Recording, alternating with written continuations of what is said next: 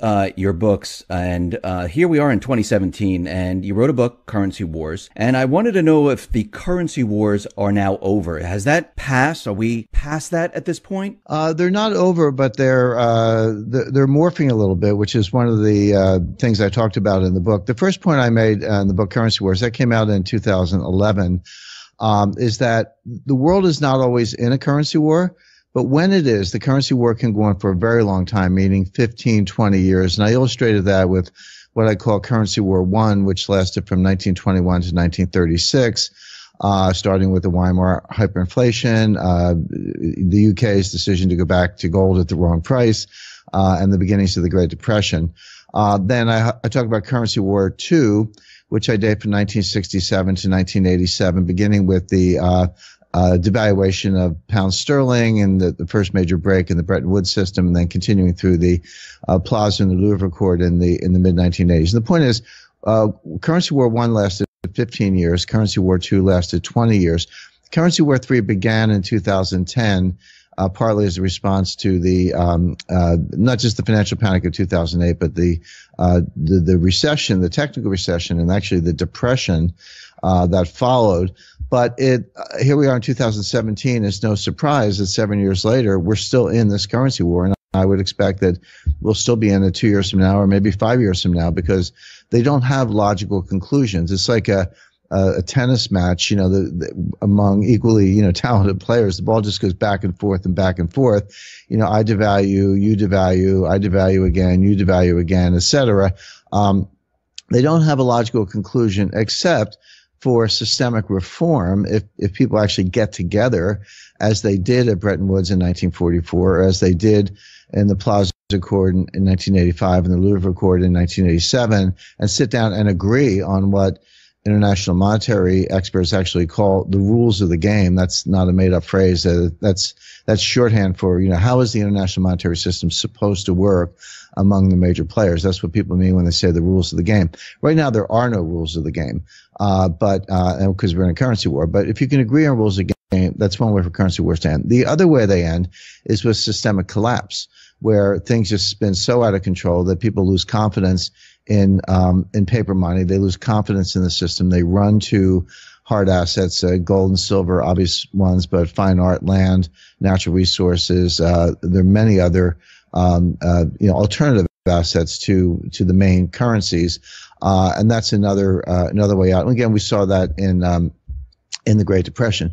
Uh, we also saw it in 1914 at the beginning of uh, World War One when the New York Stock Exchange, for example, was closed for five months. You know, I, I tell people that it's obviously a historical record, but they're shocked to hear that. And uh, you know, 1933, the banks, all every bank in America was closed by executive order. So we have seen these kinds of extreme responses to financial panics before. So you either have systemic reform or systemic collapse.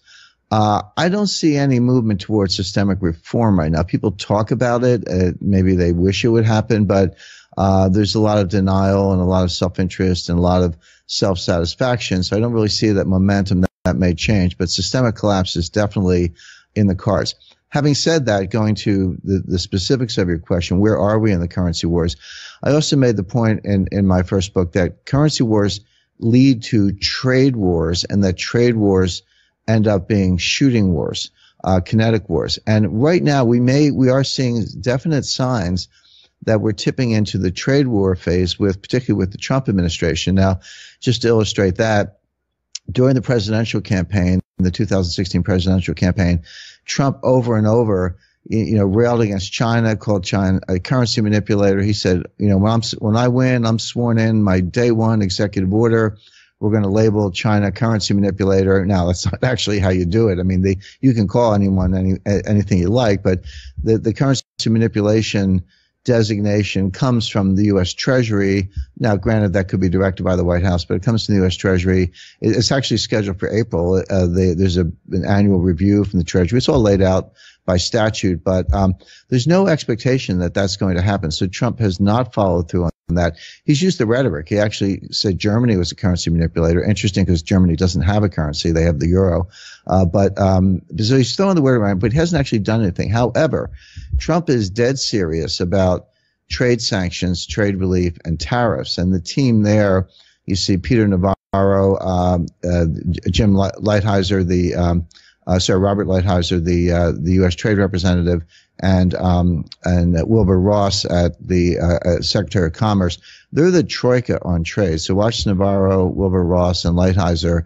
Um, they're so they're going to be pushing back against China, not on the currency front, but on the trade front. It'd be interesting to see what happens with uh, uh, President Xi and, uh, and President Trump uh, meeting in uh, Mar-a-Lago um, next week. So we are seeing signs that currency wars are morphing into trade wars. Having said that, the currency wars are alive and well. they're being fought by central banks through either easing or tightening, and a lot of flip flopping in the case of the Fed.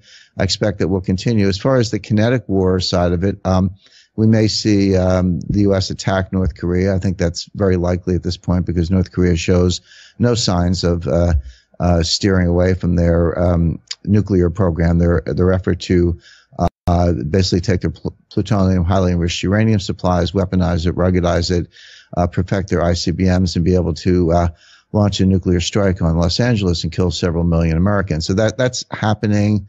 They'll have that capacity within probably four years. Clearly, the United States will not allow that to happen.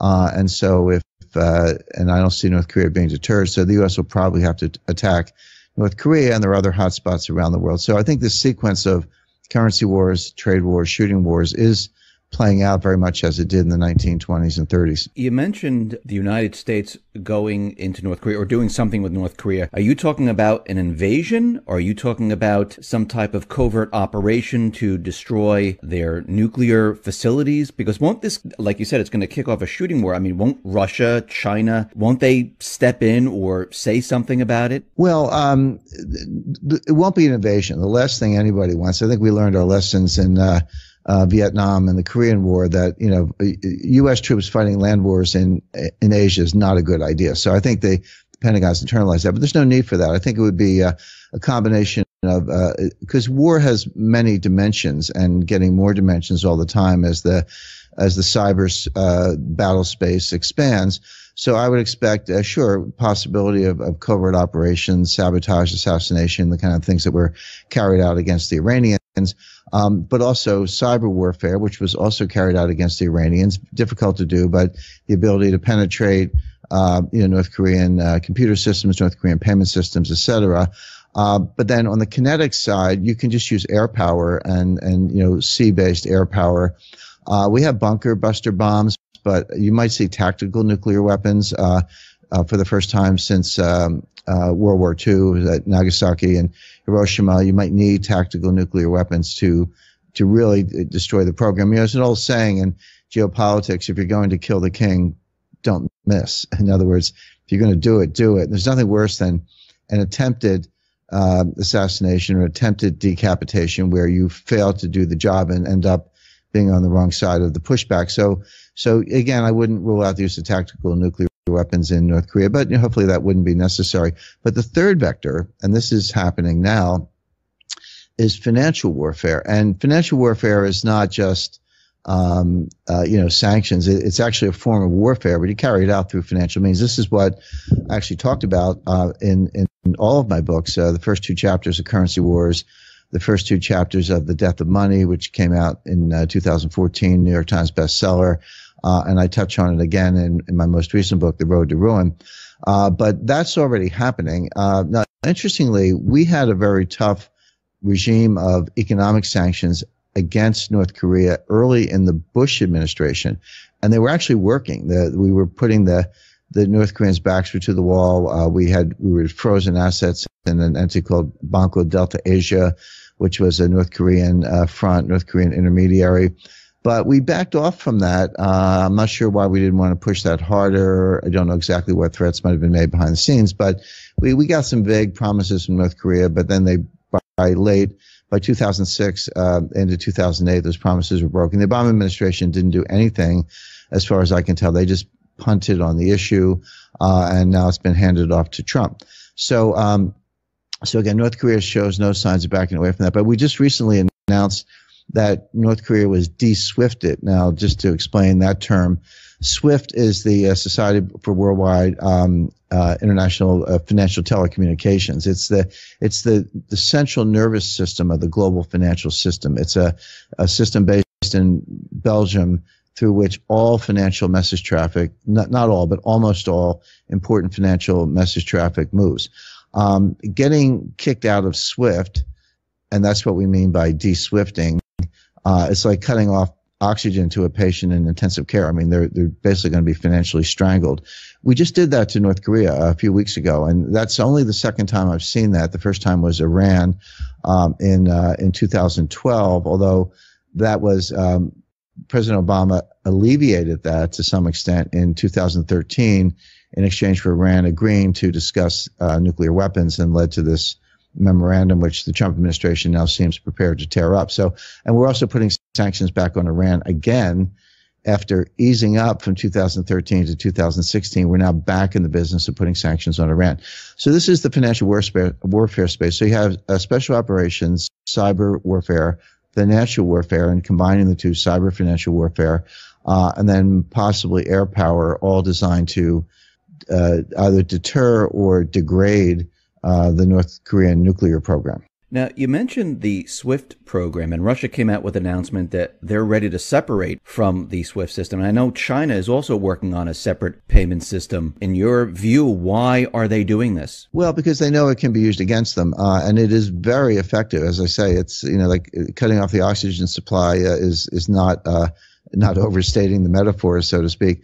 Um, but um, look, we've already put Russian uh, uh, sanctions on Russia, but there's a financial war going on between Russia and the United States right now. If you were in a war with the United States, you would fight it aggressively and you would make preparations for worst case scenarios. And by the way, the, the this announcement, the one you refer to, um, came from uh, uh, Elvira Nabiullina, who's the uh, head of the Central Bank of Russia. Uh, in my opinion, she's one of the two best central bankers in the world. I would I would say the other one's Mario Draghi, but uh, head of the ECB. But Mario Draghi and Elvira Nabiullina, in my view, are the only two central bankers who actually understand central banking. It's very clear that Janet Yellen and, and before her Ben Bernanke don't understand central banking. They've kind of bumbled through a bunch of uh, you know egghead science experiments the last nine years. But Nabiullina gets it, and uh, so she's uh, you know it's preemptive. She's saying, well, we don't think Russia's going to get kicked out of SWIFT imminently. I don't think they'll get kicked out at all. I mean, there is a there is a kind of a board of governors. There's a governance structure. It's not anything the United States wants. Now, the U.S. has a very very powerful voice, and before we de-swifted Iran, we kicked Iran out of the dollar payment system. I say kicked you out. What I mean is we say to all the banks, hey, if you move money for Iran, we're going to kick you out. Well, that's to Credit Suisse or UBS or Deutsche Bank or Citibank or JP Morgan. That's existential. You can't, you would basically be out of business. And so they have to comply and, and they don't always comply. And there have been tons of investigations and multi-billion dollar settlements and, you know, deferred prosecution agreements over banks violating some of these, uh, you know, prominently uh, HSBC, but also others. Uh, HSBC seems to be a, a JP Morgan kind of run like criminal organizations as far as I can tell. But, um, so, so we say to the big banks, if you let Iran, uh, in this example, or Russia or North Korea move money through the system, then we're going to kick you out of the system. And obviously, they, they can't afford to let that happen. So that was easy for the United States because we control the dollar payment system. But you get over to SWIFT, see what Iran did is they said, okay, we can't sell oil for dollars anymore because we can't receive dollars through the payment system. We'll just sell it for euros or Swiss francs or other currencies that you might want. And they could move through SWIFT. So then we kicked Iran out of SWIFT. But to do that, we need the votes of the other members of the board, which are mainly our European allies, uh, you know, Germany, France, UK, uh, and, and, some others. Um, and you, at this point, you sort of need China to to go along as well. So, uh, so I think it's unlikely that Russia would be kicked out, but they're not waiting around to find out the hard way. They're saying, okay, you cut off our oxygen supply. We got a spare oxygen tank over here. And they've built an alternative payment system, and China's doing the same thing. All this, by the way, is very detrimental to the dollar's role as the leading reserve and payments currencies. And I've said this to people in Washington. I do, uh, you know, a bit of consulting and uh, meetings with uh, people in the national security space, uh, you know, including you know government officials, uh, intelligence community, Defense Department, et cetera. uh, Treasury, and I've said to them, I said, you know, look, using our weight, using the dollar as a weapon is extremely powerful, but be careful what you, wish for because the more you throw your weight around, the more people aren't just going to stand for it. The more they're going to build alternative systems, and someday you're going to wake up and find that you know you're pushing on a string. You're trying to punish people with uh, dollar specific sanctions and they don't work anymore because no one needs the dollar. We're not there yet, but we're, we're pretty far down that road. So do you think countries like China, Russia, are they dumping uh, treasuries, the dollar? Are they preparing to separate themselves from the dollar? Yes, and the, the, they're doing it several One is reducing their exposure to dollar holdings, not not you know all at once, not dumping them on masse. But if you look at, there's something called the TIC report, uh, which comes out from the Treasury um, periodic. I think it's once a month or it's at least quarterly, but uh, whether it's monthly or quarterly, it's you know it's available on the Treasury website, and it shows foreign holdings of U.S. Treasury securities. And if you look at the official holdings, they are going down significantly, and they have for a while. So, so it is true that uh, China and Russia, in particular, but other countries as well, are reducing their holdings of U.S. Treasury securities. Japan has picked up some of the slack, um, and U.S. banks as well but um, but they're reducing now. Some of that, you know, they don't you don't actually have to sell anything. You just because uh, see when when a treasury security matures, if you own a treasury security and it matures, the treasury just sends you the money. They they give you your money back basically. It's like paying off a loan.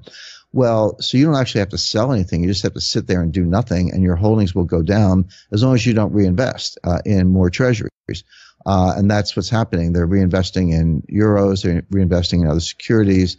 So this is kind of going on quietly and slowly without a major dumping operation, which which the U.S. could stop by. Uh, the president has the authority to stop that if it ever became malicious. But what they are doing is buying gold. Now, China, um, I'll, I'll separate the official numbers from what we actually think is going on. The official numbers are they've tripled their gold reserves in the last uh, 11 years. So from 2006 to 2017, they have officially gone from about 600 tons to about 1,800 tons of gold. But China is non-transparent uh, based on mining output, Hong Kong exports, Swiss exports, et cetera. There's good reason to believe that China's gold holdings are actually more in the order of 3,000 or 4,000 tons, perhaps even higher. I've heard some reports that they're a lot higher. Russia's more transparent, uh, but they have um, tripled their gold reserves as well uh, just in the past um, eight years. So they've gone from 600 tons to about 1,800 tons. So if gold is not a monetary asset, if gold is you know a barbarous relic, as the as the uh, critics like to say, why have Russia and China tripled their gold reserves in the last, as I say, between five and 10 years approximately, and uh, and continue to buy more gold every month? Uh, Russia's buying 20, 30 tons a month sometimes more, sometimes less, but that's kind of been the, the, the run rate.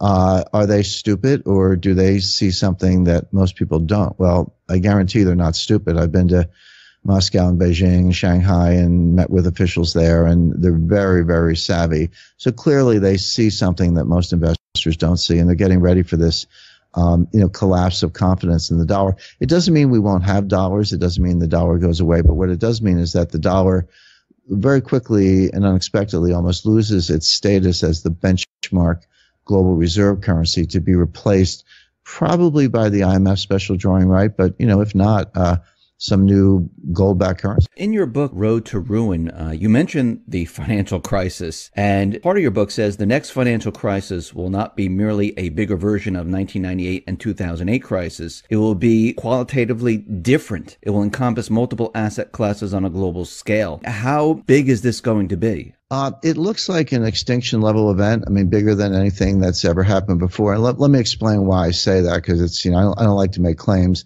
without backing them up with, with uh, you know science or history or facts or you know some combination of those things. Um, when I make that point, uh, there's sort of two vectors. One is I, I look at a tempo or sequence of prior financial crises. And in particular, I focus on 1998.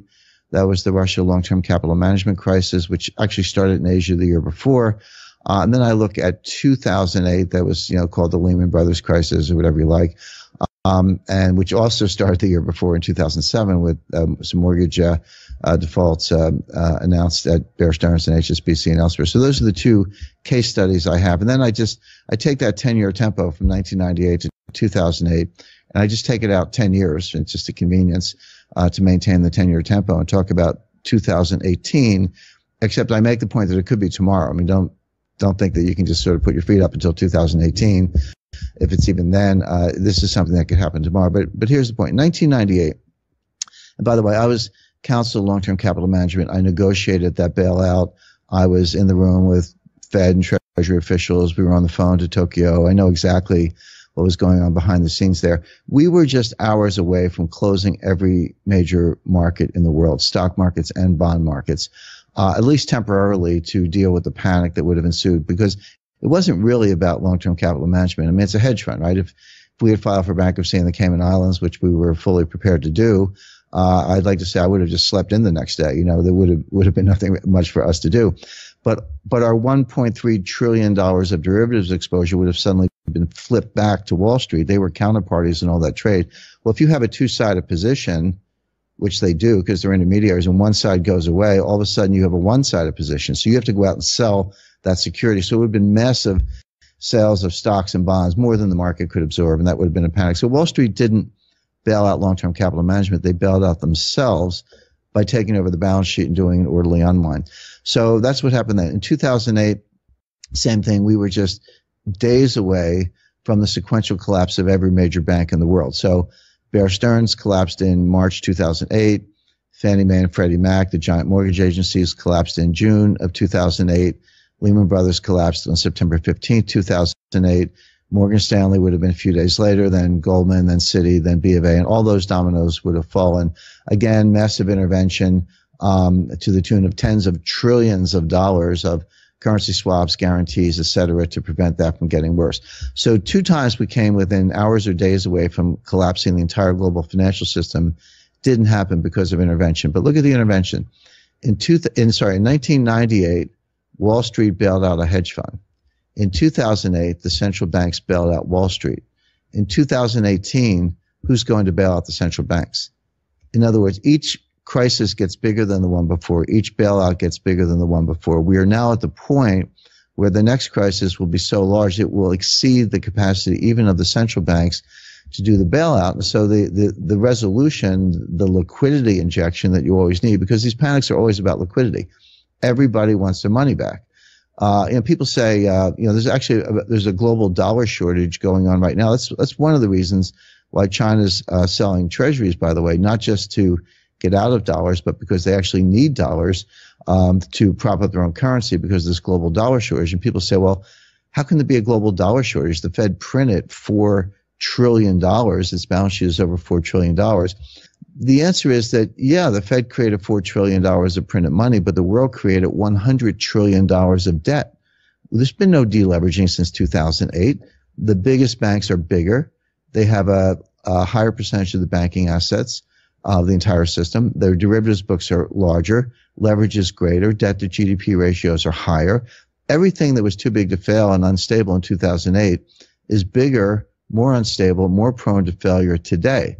And just to kind of round out that the discussion, when you use complexity theory, which is the branch of science that I use to build these models, and and the central banks do not use them. They're they're using obsolete uh, stochastic general equilibrium models. But when you use complexity theory, one of the things you learn from complexity theory is very sound science, is that the worst thing that can happen in a system, uh, the worst collapse, is an exponential function of scale. Now that's just a fancy way of saying that the risk goes up faster than the size of the system. So when you double the system, you don't double the risk, you increase it by a factor of 10 or more. So I just explained why we vastly increased the size of the system measured by bank assets concentration, derivatives, leverage, etc., which means that the risk has gone up even more, which is why I say the next panic will be a, an extinction level event it could happen tomorrow. I'm not saying it will happen tomorrow. I'm saying it could happen tomorrow. There's nothing the central banks can do to stop it. You're going to have to lock down the system, which I talk about in my book, The Road to Ruin. I explain exactly how that will play out. And then you're going to have to have some rescue, whether it's special drawing rights, which is the IMF world money or gold or, or something else if you if you want to unlock the system. Do the central banks do they realize that we're coming to a point where this whole thing cannot be sustained? Are they working together to maybe collapse the system? I don't think they're trying to collapse the system. I think they are aware that a lot of these risks that, that we're talking about are there, uh, but they don't fully comprehend it. Now let me explain what I what I mean by that. Um, they um, the central bankers ran the bailout the last time. They know what they did. Uh, they know more than we do, and uh, although a lot of information has come out, but the main point that I make is they have not they've they've been unable to normalize things since then. For example, prior to the crisis in 2008, the Federal Reserve balance sheet was about 800 billion dollars. In the course of trying to mitigate the crisis, they increased the balance sheet to over $4 trillion and they cut interest rates to zero and held them there for seven years. Now, if somehow they had got the balance sheet back to 800 billion or even a trillion and got interest rates up to two, two and a half percent, which is what the Taylor rule says they should be.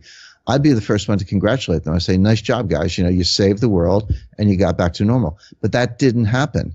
They, they're still at $4 trillion. Interest rates are, you know, okay, they've, you know, crept up to, uh, uh, three quarters of one percent, but they're still well below where they would be at the stage of the business cycle.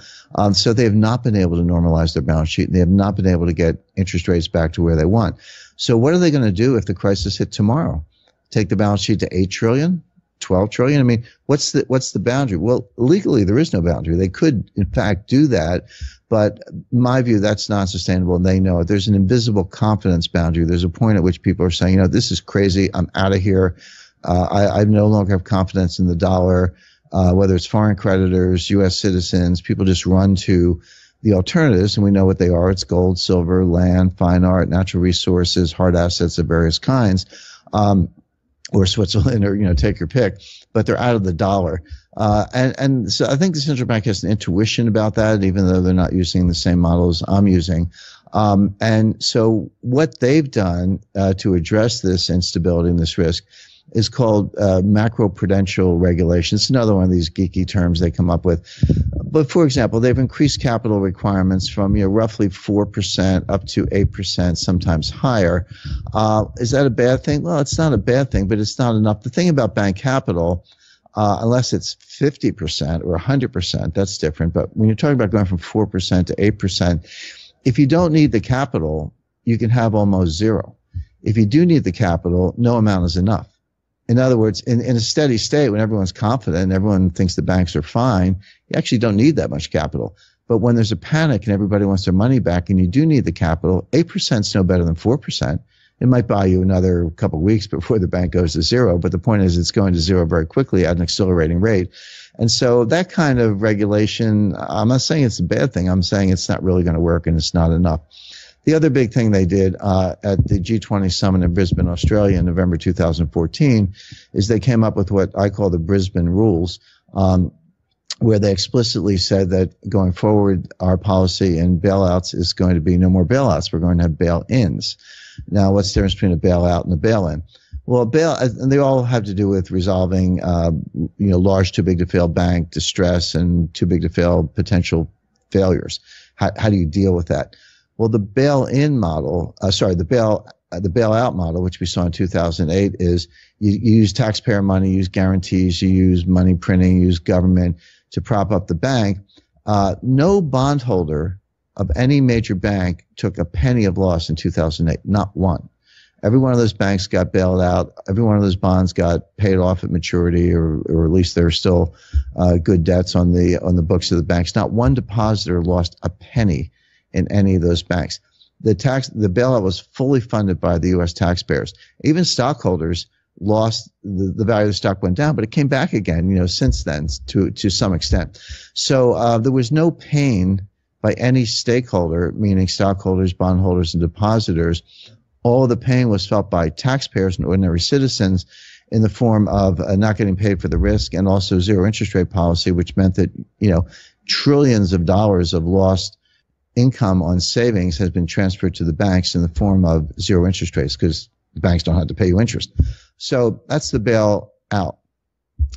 Brisbane, uh, 2014, they said, from now on, we're going to have bail-ins. The way a bail-in works is that when a bank's in distress, The first loss is going to fall on the equity holders. Equity holders are going to go to zero. You're going to get wiped out. Then uh, bondholders are going to take a haircut. So look at the hole in the balance sheet and maybe you'll get 50 cents on the dollar or 70 cents on the dollar, but you won't get 100 cents on the dollar. And then finally, depositors will not be protected above the insured amount. So let's say uh, FDIC insurance, $250,000. In Europe, it's about 100,000 euros. Um, that, uh, that, that amount will be backed up, backstopped, but anything in excess of that, you're at risk. And so the depositors, bondholders, and stockholders will all suffer. Only, only after all of those resources have been exhausted would any taxpayer money be used. So that's the so-called bail-in. Now, on the face of it, it sounds fair. It sounds reasonable. It sounds equitable. Why not put the losses where they belong in the hands of the people who benefit and the people who had the upside? Uh, and why go to the taxpayers? Sounds good. The problem is in practice, they haven't lived up to it. And we have concrete examples. In the case of uh, Italy, uh, and, and pardon my Italian, it's not very good, but the Banco de Monte I, Paschi di Siena, uh, BMP, um, uh, oldest bank in Italy, definitely a too big to fail bank, that's being bailed out by the Italian government because they don't want to face the political pain of having to put losses on bondholders who happen to be voters, by the way. Well, Angela Merkel was outraged by this. You know, Chancellor of Germany, she turned to the Italian Prime Minister at the time, uh, uh, Renzi, and said, "You can't do this. Remember, we agreed no more bailouts. We only have bail-ins." Renzi did it. Well, Renzi's gone now. He lost the election in December, but uh, the the new Italian government of technocrats is in fact bailing out that bank. But what Renzi did, Renzi turned to Merkel and said, "Oh yeah, we can't do bailouts. Well, what are you going to do with Deutsche Bank?" Was, that's a much bigger bank. That they're in distress. They're insolvent. They're going to need a rescue. And uh, are you seriously going to apply the bail-in rules to Deutsche Bank uh, and let German working people suffer losses on their deposits just because they're more than 100,000 euros? So, so the point is, bail-in sounds fine in theory, but it's not lived up to in practice because of the politics. So there really are no solutions on the table. Bank capital is never enough. Bail-in is not being respected in practice. Um, meanwhile, the system keeps getting bigger, more unstable, and so when the crash comes, they're going to have to go to what I call, what I talk about in my book, The Road to Ruin, the ICE 9 uh, solution. What is the ICE 9 solution? What, what do you mean by that? The ICE 9 is a phrase I, I borrowed from uh, Kurt Vonnegut, uh, one of my favorite authors. He wrote a book in the early 1960s called Cat's Cradle, which I highly recommend. It's very funny, dark, dark, uh, dark comedy, but a, but a very funny book, short, easy to read. Um, but in that book, he invented something called ICE 9. There was a, was a scientist uh, who created ICE 9. ICE 9 is a polymorph or a similar molecule to water, to H2O, with two important differences. Number one, the uh, melting temperature is 114 degrees Fahrenheit, which means it's frozen at room temperature. And number two, when a molecule of H2O, H2O water comes in contact with a molecule of ice 9, the water turns to ice 9, which is ice basically. So at, at room temperature. So, uh, so he took this ice 9, put it molecule, put it in vials, three vials, gave it to his three children. And the plot of the book has to do with whether any of them open it and pour it if you pour the ice nine into a stream, the stream freezes, then the, the harbor freezes, then the ocean freezes, and all the water on the earth freezes, and life on earth dies. In other words, it's a doomsday machine. And I take that that story and bring it over to financial markets as a metaphor, and I make the point that the panic is going to start somewhere. There'll be some catalyst. It doesn't matter what it is. I mean, people ask me all the time, what's going to start the panic? And I say, it doesn't matter. The system is unstable. It's prone to collapse. So whether it's a financial failure, an assassination, a coup d'etat, a natural disaster, um, you know, it could be a lot of things, but it, it won't matter. It'll just happen. But it'll show up. It'll emerge in a particular segment of the of the capital markets. And I, my number one suspect would be money market funds because they're supposed to be liquid. They're not really. It's a it's a great misnomer. Uh, people think money market funds are money. They're not. But people will call up for the money market funds and say, I want to redeem my shares, you know, wire the money to my bank account and do it now. Um, and what they're going to find is that, you know, well, what's on the other side of the money market funds? Well, there are all kinds of short-term liabilities and they're not going to be able to roll those over. So they're going to suspend redemptions on the money market funds. By the way, that was not the law in 2008. It was, you could not suspend redemptions. There was no provision for that. Today there is. They changed that law. So you can suspend redemptions. So it's like a hedge fund that puts up gates, um, and it closes the gates. So, um, so then people say, "Oh, gee, I can't get my money out of my uh, money market fund. Well, I better take the money I do have out of the bank." So they're going to have to close the banks and we reprogram the ATM so you can only get $300 a day for gas and groceries. And people say, oh, gee, money market funds closed, banks closed, I'll sell my stocks. We're going to have to close the stock market. In other words, it's going to go from sector to sector the same way the ICE 9 molecule spreads exponentially to freeze all the water in the world. And eventually, you're going to have to lock down the entire financial system. Now, they'll tell you it's temporary. And like I say, they'll you'll probably be able to get a couple hundred bucks a day for gas and groceries from the ATM while they're working on a solution. The solutions being the ones we mentioned earlier, which are, you know, uh, re- resetting or rebooting the international monetary system, uh, new rules of the game, um, SDR, liquidity, maybe a gold standard, maybe a hybrid gold backed SDR, but whatever it is, these things will take months to work out. And in the meantime, you're going to have this ICE 9 solution. I, I, talk about this in a lot of detail in my book. And by the way, yeah, there, there are 151 footnotes, uh, actually not footnotes, they're end notes. Uh, they're notes, but they, they come at the end. So you can, you don't have to read them if you don't want to as you're going through the book. But everything I'm describing uh, is documented, backed up, supported either by science, uh, you know, put the equations in the end notes or official documents, statements. You can find it all. None of it is um, fantasized. None of it is, uh, you know, Jules Verne science fiction. It's it's all happening. It, it's it's already happened to some extent. We've seen it in Cyprus. We've seen it in Greece. We saw it in India with demonetization. Um, you know, Europe uh, got rid of the 500 euro note. This is all part of the war on cash. The war on cash is designed ultimately to eliminate cash, to force everyone into uh, all their wealth into digital form. Um, and I like to make the point that you know before you slaughter cattle, you have to herd them into a pen, and before you slaughter investors, you have to herd them into a digital pen at one of these you know major banks and once all the wealth is digital, it can be frozen, locked down, confiscated, taxed, monitored, etc.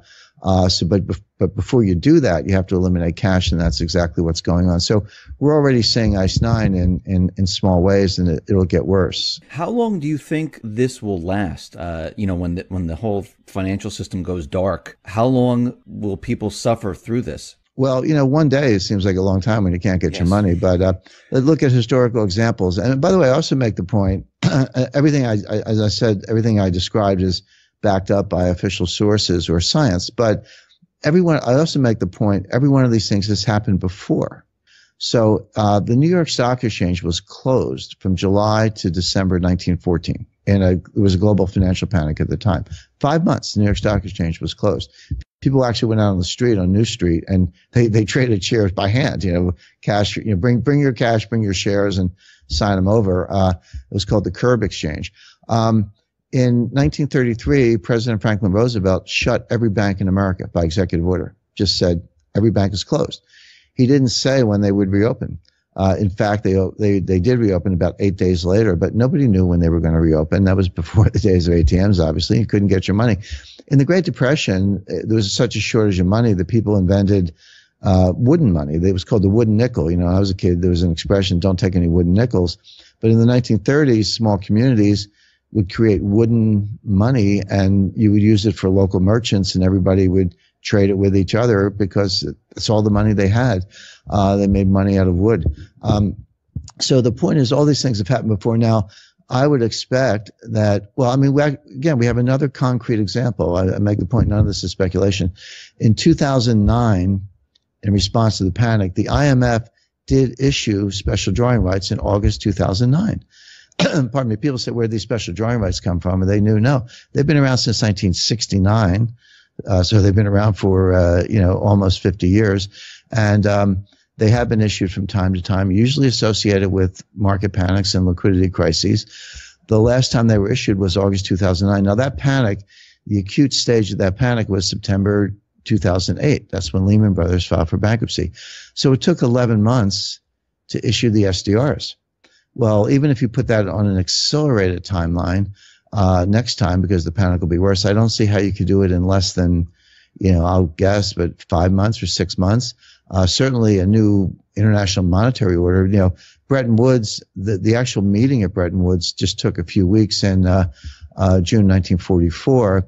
But they've been working on it for two years. Um, Britain and the UK, in particular, under the direction of Winston Churchill and Franklin Roosevelt, have been working on it for two years. So these things can't be done overnight.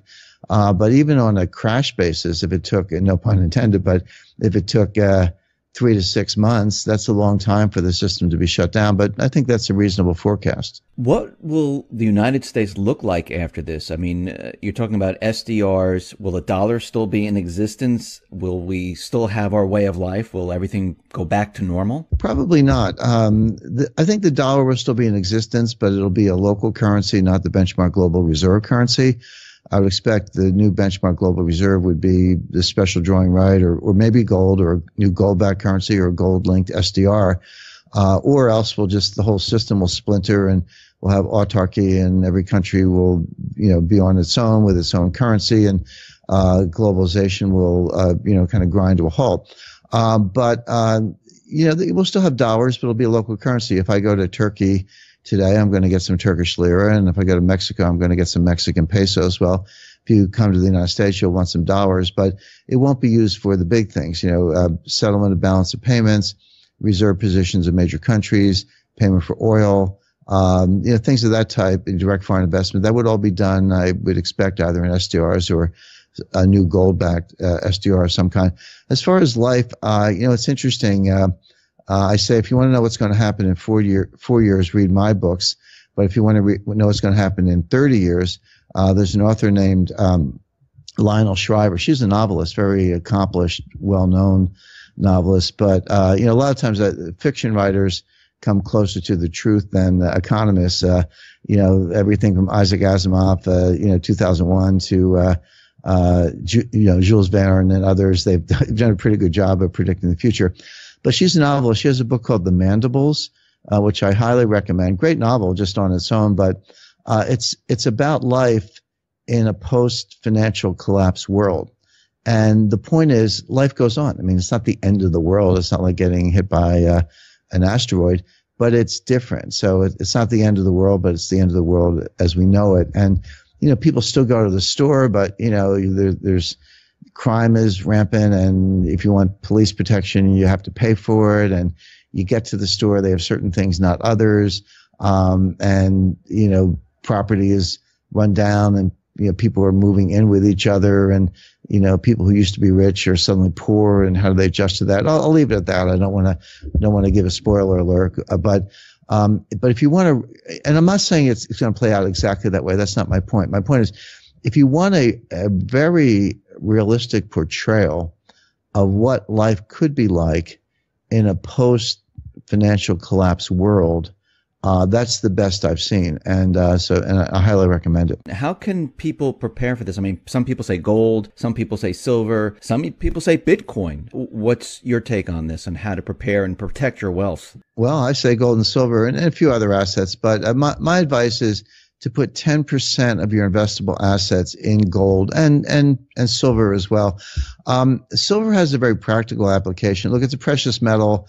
I don't spend as much time thinking about silver as I do about gold. And the reason is that gold is, in my view, money. It's the ultimate form of money. It's, it's not just a monetary asset. It's the only form of money that I think really works in the long run. Uh, and so you should definitely have gold.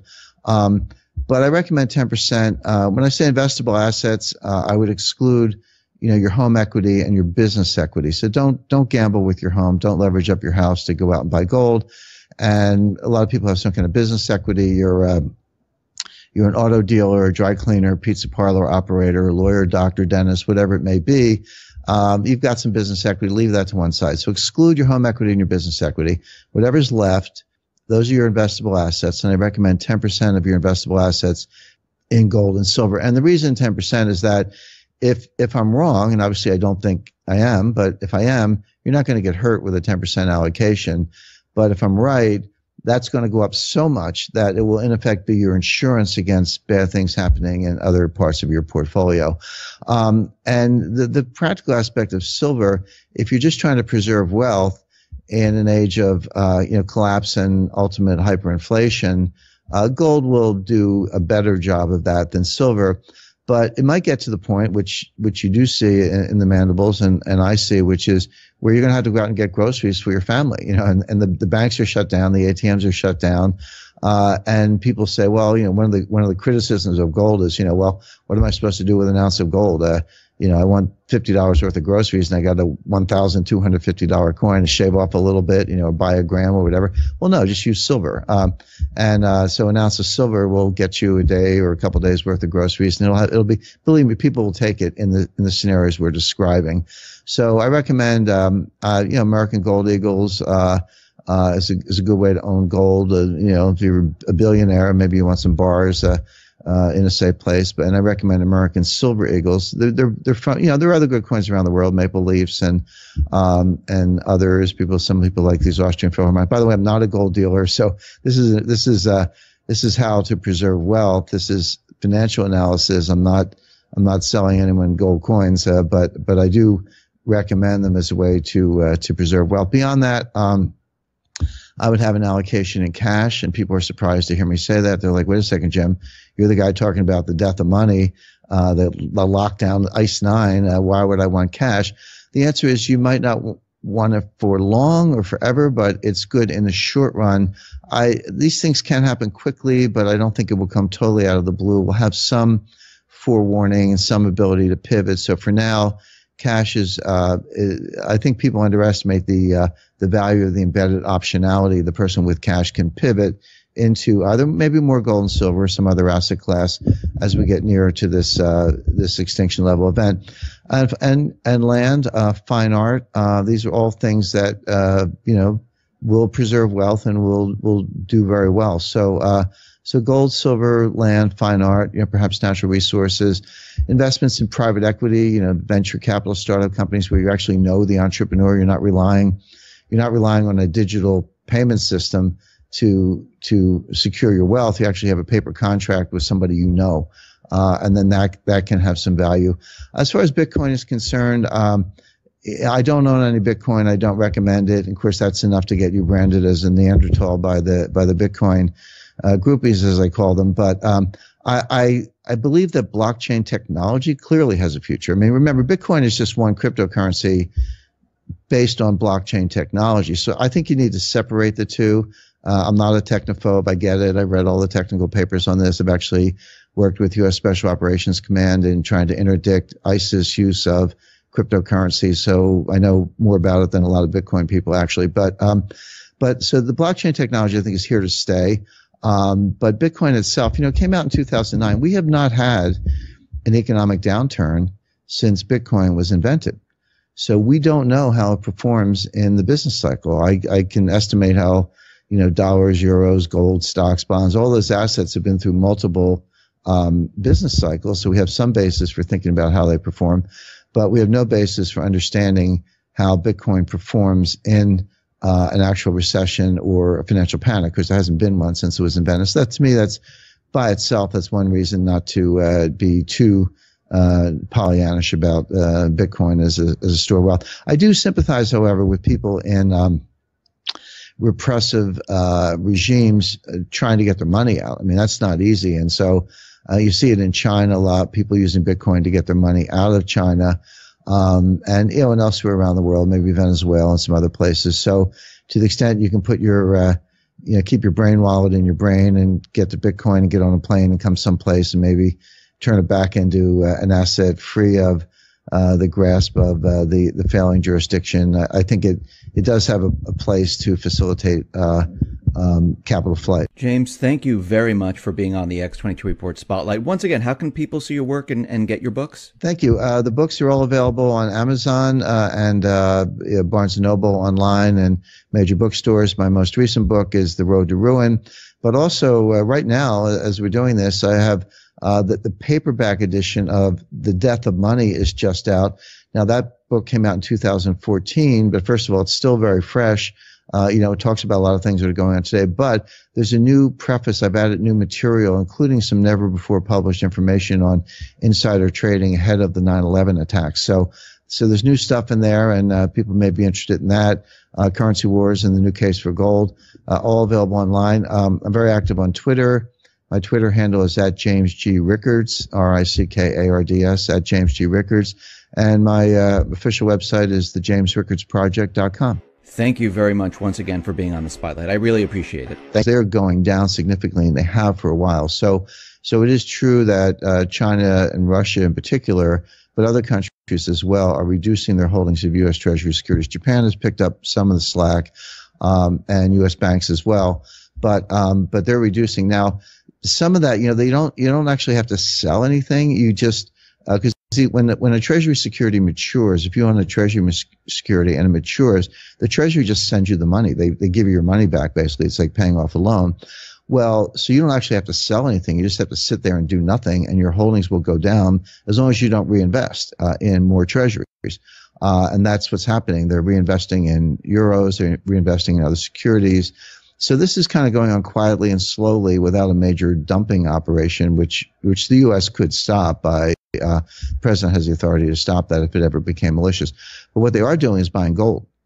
Now, China um, I'll, I'll, separate the official numbers from what we actually think is going on. The official numbers are they've tripled their gold reserves in the last uh, 11 years. So from 2006 to 2017, they have officially gone from about 600 tons to about 1,800 tons of gold. But China is non-transparent uh, based on mining output, Hong Kong exports, Swiss exports, etc. There's good reason to believe that China's gold holdings are actually more in the order of 3,000 or 4,000 tons, perhaps even higher. I've heard some reports that they're a lot higher. Russia's more transparent, uh, but they have um, tripled their gold reserves as well uh, just in the past um, eight years. So they've gone from 600 tons to about 1,800 tons. So if gold is not a monetary asset, if gold is you know a barbarous relic, as the as the uh, critics like to say, why have Russia and China tripled their gold reserves in the last, as I say, between five and ten years approximately, and uh, and continue to buy more gold every month. Uh, Russia's buying 20, 30 tons a month, sometimes more, sometimes less, but that's kind of been the the, the run rate. Uh, are they stupid or do they see something that most people don't? Well, I guarantee they're not stupid. I've been to Moscow and Beijing, Shanghai, and met with officials there, and they're very, very savvy. So clearly, they see something that most investors don't see, and they're getting ready for this, um, you know, collapse of confidence in the dollar. It doesn't mean we won't have dollars. It doesn't mean the dollar goes away. But what it does mean is that the dollar, very quickly and unexpectedly, almost loses its status as the benchmark global reserve currency to be replaced probably by the IMF special drawing right. But you know, if not. Uh, some new gold backed currency. In your book, Road to Ruin, uh, you mentioned the financial crisis. And part of your book says the next financial crisis will not be merely a bigger version of 1998 and 2008 crisis. It will be qualitatively different. It will encompass multiple asset classes on a global scale. How big is this going to be? Uh, it looks like an extinction level event. I mean, bigger than anything that's ever happened before. And let, let me explain why I say that because it's, you know, I don't, I don't like to make claims without backing them up with, with uh, you know science or history or facts or you know some combination of those things. Um, when I make that point, uh, there's sort of two vectors. One is I, I look at a tempo or sequence of prior financial crises. And in particular, I focus on 1998. That was the Russia long-term capital management crisis, which actually started in Asia the year before. Uh, and then I look at 2008. That was you know called the Lehman Brothers crisis or whatever you like um, and which also started the year before in 2007 with um, some mortgage uh, uh, defaults um, uh, announced at Bear Stearns and HSBC and elsewhere. So those are the two case studies I have, and then I just I take that 10-year tempo from 1998 to 2008, and I just take it as case scenarios. And by the way, the, the this announcement, the one you refer to, um, came from uh, uh, Elvira Nabiullina, who's the uh, head of the Central Bank of Russia uh, in my opinion, she's one of the two best central bankers in the world. I would I would say the other one's Mario Draghi, but uh, head of the ECB. But Mario Draghi and Elvira Nabiullina, in my view, are the only two central bankers who actually understand central banking. It's very clear that Janet Yellen and, and before her Ben Bernanke don't understand central banking. They've kind of bumbled through a bunch of uh, you know egghead science experiments the last nine years. But Nabiullina gets it, and uh, so she's uh, you know it's preemptive. She's saying, well, we don't think Russia's going to get kicked out of SWIFT imminently. I don't think they'll get kicked out at all. I mean, there is a there is a kind of a board of governors. There's a governance structure. It's not anything the United States wants. Now, the U.S. has a very very powerful voice, and before we de-swifted Iran, we kicked Iran out of the dollar payment system. I say kicked you out, what I mean is we say to all the banks, hey, if you move money for Iran, we're going to kick you out. Well, that's to Credit Suisse or UBS or Deutsche Bank or Citibank or JP Morgan. That's existential. You can't, you would basically be out of business. And so they have to comply and, and they don't always comply. And there have been tons of investigations and multi-billion dollar settlements and, you know, deferred prosecution agreements over banks violating some of these, uh, you know, prominently uh, HSBC, but also others. Uh, HSBC seems to be a, a JP Morgan kind of run like criminal organizations as far as I can tell. But, um, so, so we say to the big banks, if you let Iran, uh, in this example, or Russia or North Korea move money through the system, then we're going to kick you out of the system. And obviously they, they can't afford to let that happen. So that was easy for the United States because we control the dollar payment system. But you get over to SWIFT, see what Iran did is they said, okay, we can't sell oil for dollars anymore because we can't receive dollars through the payment system. We'll just sell it for euros or Swiss francs or other currencies that you might want and they could move through SWIFT. So then we kicked Iran out of SWIFT. But to do that, we need the votes of the other members of the board, which are mainly our European allies, uh, you know, Germany, France, UK, uh, and, and, some others. Um, and at this point, you sort of need China to to go along as well. So, uh, so I think it's unlikely that Russia would be kicked out, but they're not waiting around to find out the hard way. They're saying, okay, you cut off our oxygen supply. We got a spare oxygen tank over here. And they've built an alternative payment system, and China's doing the same thing.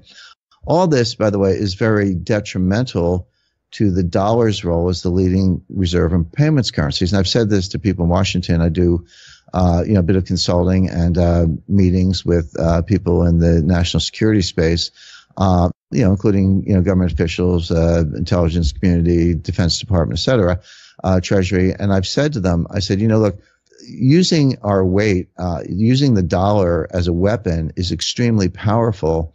But be careful what you, wish for because the more you throw your weight around, the more people aren't just going to stand for it. The more they're going to build alternative systems. And someday you're going to wake up and find that, you know, you're pushing on a string. You're trying to punish people with, uh, dollar specific sanctions and they don't work anymore because no one needs the dollar. We're not there yet, but we're, we're pretty far down that road. So do you think countries like China, Russia, are they dumping uh, treasuries, the dollar? Are they preparing to separate themselves from the dollar? Yes. And the, the, they're doing it several ways. One is reducing their exposure to dollar holdings, not, not, you know, all at once, not dumping them on masse. But if you look at, there's something called the TIC report, uh, which comes out from the Treasury um, periodic. I think it's once a month or it's at least quarterly, but uh, whether it's monthly or quarterly, it's you know it's available on the Treasury website, and it shows foreign holdings of U.S. Treasury securities. And if you look at the official holdings with the Trump administration, now just to illustrate that, during the presidential campaign, the 2016 presidential campaign, Trump over and over you know, railed against China, called China a currency manipulator. He said, you know, when I'm when I win, I'm sworn in my day one executive order. We're going to label China currency manipulator. Now, that's not actually how you do it. I mean, the, you can call anyone any, anything you like, but the, the currency manipulation designation comes from the U.S. Treasury. Now, granted, that could be directed by the White House, but it comes from the U.S. Treasury. It's actually scheduled for April. Uh, they, there's a, an annual review from the Treasury. It's all laid out by statute, but um, there's no expectation that that's going to happen. So Trump has not followed through on that. He's used the rhetoric. He actually said Germany was a currency manipulator. Interesting because Germany doesn't have a currency; they have the euro. Uh, but um, so he's throwing the word around, but he hasn't actually done anything. However, Trump is dead serious about trade sanctions, trade relief, and tariffs. And the team there, you see Peter Navarro, um, uh, Jim Lighthizer, the um, uh, Sir Robert Lighthizer, the uh, the U.S. Trade Representative, and um, and Wilbur Ross at the uh, uh, Secretary of Commerce. They're the troika on trade. So watch Navarro, Wilbur Ross, and Lighthizer. Um, they're so they're going to be pushing back against China, not on the currency front, but on the trade front. It'd be interesting to see what happens with uh, uh, President Xi and, uh, and President Trump uh, meeting in Mar-a-Lago um, next week. So we are seeing signs that uh, currency wars are morphing into trade wars. Having said that, uh, the currency wars are alive and well. Uh, they're being fought by central banks through uh, either easing or tightening, and a lot of flip flopping in the case of the Fed. I expect that will continue. As far as the kinetic war side of it, um, we may see um, the U.S. attack North Korea. I think that's very likely at this point because North Korea shows no signs of uh, uh, steering away from their um, nuclear program, their their effort to uh, basically take their pl- plutonium, highly enriched uranium supplies, weaponize it, ruggedize it, uh, perfect their ICBMs, and be able to uh, launch a nuclear strike on Los Angeles and kill several million Americans. So that that's happening. They'll have that capacity within probably four years. Clearly, the United States will not allow that to happen. Uh, and so, if uh, and I don't see North Korea being deterred, so the U.S. will probably have to attack North Korea, and there are other hotspots around the world. So I think this sequence of currency wars, trade wars, shooting wars is playing out very much as it did in the 1920s and 30s. You mentioned the United States going into North Korea or doing something with North Korea. Are you talking about an invasion? Or are you talking about some type of covert operation to destroy their nuclear facilities? Because won't this, like you said, it's going to kick off a shooting war? I mean, won't Russia, China, won't they step in or say something about it? Well, um, it won't be an invasion. The last thing anybody wants, I think we learned our lessons in. Uh, uh, Vietnam and the Korean War that you know U.S. troops fighting land wars in in Asia is not a good idea. So I think the Pentagon's internalized that, but there's no need for that. I think it would be a, a combination of because uh, war has many dimensions and getting more dimensions all the time as the as the cyber uh, battle space expands. So I would expect, uh, sure, possibility of, of covert operations, sabotage, assassination, the kind of things that were carried out against the Iranians um, but also cyber warfare, which was also carried out against the Iranians. Difficult to do, but the ability to penetrate, uh, you know, North Korean uh, computer systems, North Korean payment systems, etc. Uh, but then on the kinetic side, you can just use air power and and you know sea-based air power. Uh, we have bunker buster bombs, but you might see tactical nuclear weapons uh, uh, for the first time since um, World War II at Nagasaki and Hiroshima, you might need tactical nuclear weapons to to really destroy the program. You know, there's an old saying in geopolitics: if you're going to kill the king, don't miss. In other words, if you're going to do it, do it. There's nothing worse than an attempted uh, assassination or attempted decapitation where you fail to do the job and end up being on the wrong side of the pushback. So, so again, I wouldn't rule out the use of tactical nuclear weapons in North Korea, but you know, hopefully that wouldn't be necessary. But the third vector, and this is happening now, is financial warfare. And financial warfare is not just um, uh, you know sanctions; it, it's actually a form of warfare, but you carry it out through financial means. This is what I actually talked about uh, in, in, all of my books. Uh, the first two chapters of Currency Wars. The first two chapters of The Death of Money, which came out in uh, 2014, New York Times bestseller. Uh, and I touch on it again in, in my most recent book, The Road to Ruin. Uh, but that's already happening. Uh, now, interestingly, we had a very tough regime of economic sanctions against North Korea early in the Bush administration, and they were actually working. The, we were putting the the North Koreans' backs were to the wall. Uh, we had we were frozen assets in an entity called Banco Delta Asia, which was a North Korean uh, front, North Korean intermediary. But we backed off from that. Uh, I'm not sure why we didn't want to push that harder. I don't know exactly what threats might have been made behind the scenes, but we, we got some vague promises from North Korea, but then they, by late, by 2006, uh, into 2008, those promises were broken. The Obama administration didn't do anything, as far as I can tell. They just punted on the issue, uh, and now it's been handed off to Trump. So, um, so again, North Korea shows no signs of backing away from that. But we just recently announced that North Korea was de-SWIFTed. Now, just to explain that term, SWIFT is the uh, Society for Worldwide um, uh, International uh, Financial Telecommunications. It's the it's the the central nervous system of the global financial system. It's a, a system based in Belgium through which all financial message traffic, not not all, but almost all important financial message traffic moves. Um, getting kicked out of SWIFT, and that's what we mean by de-SWIFTing, uh, it's like cutting off oxygen to a patient in intensive care. I mean, they're they're basically going to be financially strangled. We just did that to North Korea a few weeks ago, and that's only the second time I've seen that. The first time was Iran um, in uh, in 2012, although that was um, President Obama alleviated that to some extent in 2013 in exchange for Iran agreeing to discuss uh, nuclear weapons and led to this memorandum, which the Trump administration now seems prepared to tear up. So, and we're also putting sanctions back on Iran again after easing up from 2013 to 2016, we're now back in the business of putting sanctions on Iran. So this is the financial warfare, warfare space. So you have uh, special operations, cyber warfare, financial warfare, and combining the two, cyber financial warfare, uh, and then possibly air power, all designed to uh, either deter or degrade uh, the North Korean nuclear program. Now, you mentioned the SWIFT program, and Russia came out with an announcement that they're ready to separate from the SWIFT system. And I know China is also working on a separate payment system. In your view, why are they doing this? Well, because they know it can be used against them, uh, and it is very effective. As I say, it's you know like cutting off the oxygen supply uh, is is not uh, not overstating the metaphor, so to speak. Um, but um, look, we've already put Russian uh, uh, sanctions on Russia, but there's a financial war going on between Russia and the United States right now. If you were in a war with the United States, you would fight it aggressively, and you would make preparations for worse. Uh, your books, and uh, here we are in 2017, and you wrote a book, Currency Wars, and I wanted to know if the currency wars are now over. Has that passed? Are we past that at this point? Uh, they're not over, but they're, uh, they're morphing a little bit, which is one of the uh, things I talked about in the book. The first point I made in the book, Currency Wars, that came out in 2011. Um, is that the world is not always in a currency war but when it is, the currency war can go on for a very long time, meaning 15, 20 years. And I illustrated that with what I call Currency War One, which lasted from 1921 to 1936. Uh, starting with the Weimar hyperinflation, uh, the UK's decision to go back to gold at the wrong price, uh, and the beginnings of the Great Depression.